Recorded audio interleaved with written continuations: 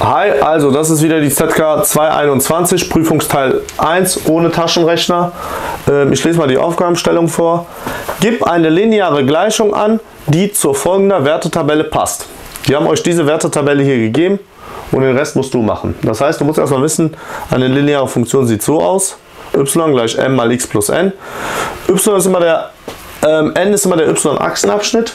Wichtig, merke dir, wenn du äh, x-Wert 0 hast, dann ist immer die Zahl, wo für x 0 steht, der y-Achsenabschnitt. Das heißt, 2 ist mein y-Achsenabschnitt. Also den Punkt, wenn man den aufschreibt, 0 und 2, dann ist dein n direkt schon die 2. Dann kannst du direkt für n die 2 einsetzen. Und dann habe ich den zweiten Punkt ausgewählt, entweder den oder den. Ich habe dann hier den zweiten genommen, P2, nehme ich dann bei 2 und 5.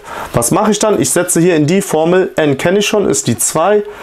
Der x-Wert ist auch eine 2 und y ist 5. Das habe ich jetzt alles hier eingesetzt.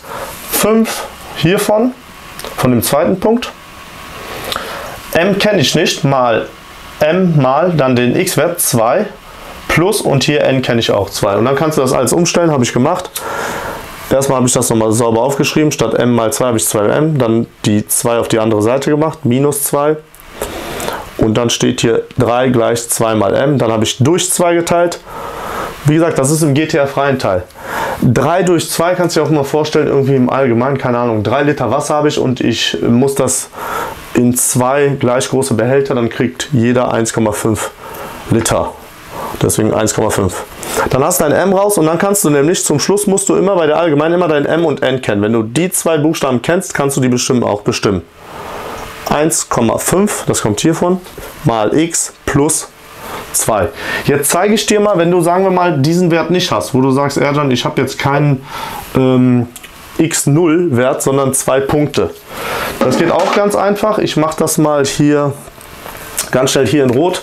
Da musst du erstmal die zwei Punkte aufschreiben. Also ich nenne das mal P1 ist der x-Wert 1 und der y-Wert 3,5 und P2 ist der x-Wert 2 und y-Wert ist dann 5. So, dann brauchst du die Formel auf jeden Fall. m gleich y2 minus y1 durch x2 minus x1. So, so kannst du dein m bestimmen.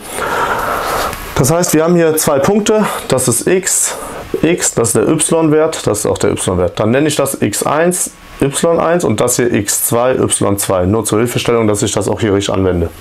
So, dann machen wir einen Bruchstrich. y2 ist 5 minus y1 3,5 durch und dann x2 ist 2 minus 1.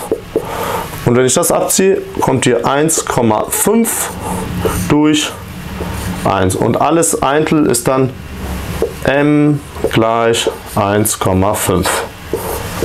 So, mit der Variante hast du halt dein m raus und dann kannst du wieder m und einen der beiden Punkte in die allgemeine einsetzen. Machen wir mal. Wie gesagt, das ist halt Beispiel 2, wenn du nur zwei Punkte hast.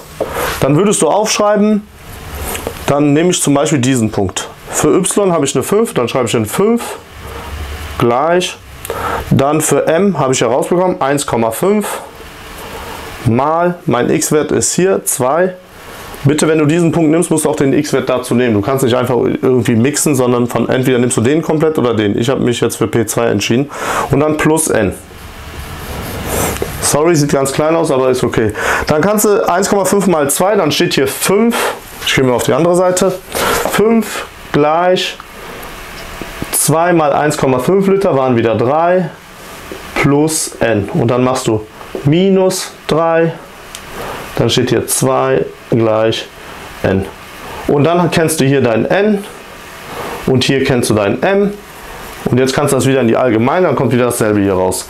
1,5 mal x plus. Ich hoffe, du hast das verstanden und das ist ein bisschen unübersichtlich, Ansonsten sowas ist ganz wichtig, anhand von zwei Punkten eine lineare ähm, Geradengleichung zu bestimmen. Und dann musst du immer diese Formel anwenden und die zwei Punkte aufschreiben. Wenn es dir gefallen hat, lasst einen Daumen hoch und abonniert mich, wenn ihr wollt. Bis dann. Tschüss.